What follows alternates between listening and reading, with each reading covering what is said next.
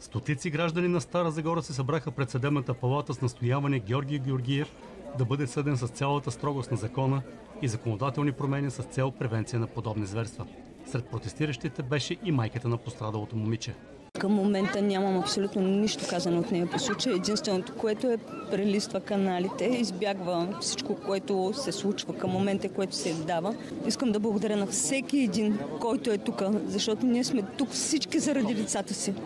Не само заради моето, заради всички останали. Аз също водя тази битка не само заради моето дете, заради всички други.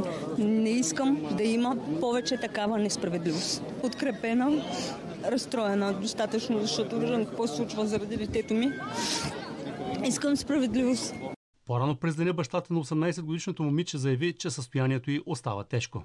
Към момента състоянието й е тежко, психологически и физически. В смисъл такъв, че даже и след тези допълнителни допълнителни разпити, тя се налага да се връща назад за нещо, за което не иска да говори. Демонстрация на недоволство имаше и в София, под наслов «Няма да мълчим, стоп на геноцида над жените».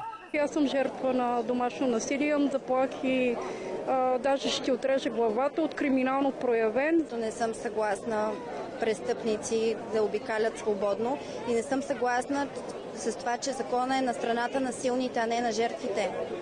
Какво искате да покажете с тези нощите залепени на оградата?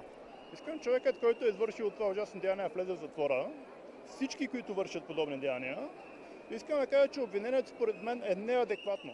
На протест излязоха и гражданите на Велико Търново. Сред недоволните имаше много млади хора и майки с деца. Всички те настояваха за справедливост и нови законодателни промени. Вандалско е да разбиеш витрина или да откраднеш нещо. Това е жестокост. Дойдохме тук да изразим просто нашата съпричастност, нашето разочарование от съдебната система, съдебното решение и да изкажем, че това е просто едно безумие. Това не е нормално. Живеем в 21 век и тези неща не, не трябва да се случват. В Пловдив и Карлов протестиращите също изразиха своята подкрепа към пострадалата и семейството й. Дори да не живееш с един човек, той пак може да те малтретира, както много от нас са ги малтретирали и психически, и физически. И затова виждам, че днес толкова много хора са се събрали тук. Мисля, че всички искаме едно и също. И това е някакъв тип справедливост. А пострадалите да получат възмездие под някаква форма. Национален протест срещу насилието и бавното правосъдие в страната имаше и в Бургас.